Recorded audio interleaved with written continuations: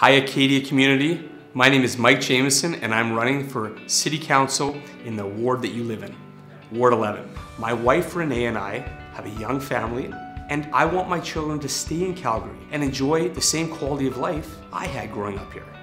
Before voting day comes on October 18th, click the video right here. Get to know me a little better.